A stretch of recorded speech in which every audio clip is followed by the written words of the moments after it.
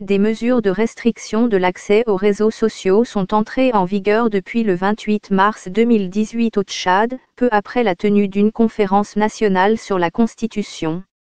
À l'issue de cette conférence, le président du Tchad, Idriss Déby, au pouvoir depuis 30 ans, est autorisé par la Constitution à pouvoir se présenter aux élections présidentielles jusqu'en 2033 plainte contre les compagnies de téléphonie mobile au Tchad les libertés à la poubelle, réseaux sociaux depuis la dernière élection présidentielle, en 2016, les détracteurs de M. Déby ne cessent de sonner la mobilisation par le biais des réseaux sociaux.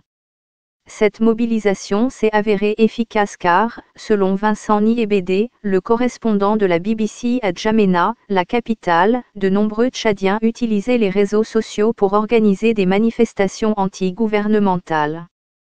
Cette mobilisation a fait d'Internet une véritable menace pour le gouvernement. Vivre sans Facebook, sans accès aux réseaux sociaux, c'est comme vivre dans une cellule de prison, a dit à la BBC le célèbre blogueur tchadien 2B Emmanuel.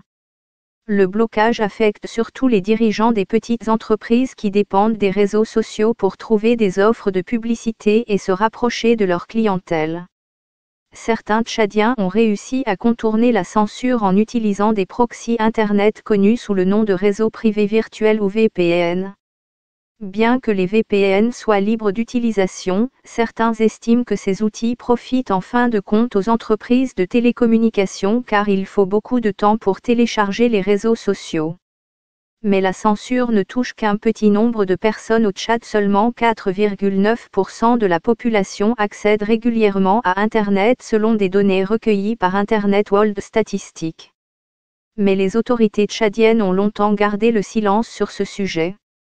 Plusieurs ministères rejettent toute responsabilité concernant le blocage, l'ARCEP, l'organisme public chargé des communications électroniques et postales au Tchad, déclare avoir reçu du ministère de l'Intérieur l'ordre de censurer les réseaux sociaux. Mercredi, le porte-parole du gouvernement, Oumar Yahya Issin, a dit à notre correspondant à Djamena que la censure était nécessaire pour des raisons de sécurité. Bouchra Nassir Oussela, l'une des rares tchadiennes dans l'informatique selon notre correspondant, le gouvernement tchadien considère les réseaux sociaux comme une menace sérieuse. Les mouvements rebelles hostiles au président Déby sont toujours actifs dans le pays, et selon un responsable de la sécurité interrogé par la BBC, le gouvernement estime que les réseaux sociaux sont un moyen pour les chefs rebelles de recruter davantage de jeunes. Il faut rappeler aussi que grâce à ces nouveaux médias, des civils ont capturé des scènes de meurtre et de passage à tabac de personnes qui l'ont publié sur les réseaux sociaux, et le gouvernement dit tenir à empêcher de telles pratiques. Cela semble très improbable. Un groupe d'avocats tchadiens a intenté un procès aux entreprises de télécommunications en août 2018 dans le but de rétablir l'accès aux réseaux sociaux. Mais ils ont perdu le procès.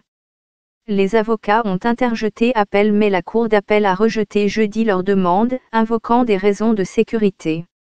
Le collectif d'avocats dirigé par Daïnone Frédéric et Frédéric Nanadjingue veulent à présent faire appel aux instances internationales compétentes pour mettre fin au blocage des réseaux sociaux, cette censure préoccupe Internet sans frontières, une association française, qui a annoncé le lancement, ce 28 mars, d'une série d'actions pour commémorer un an de coupure des réseaux sociaux au Tchad, avec la collaboration d'associations tchadiennes.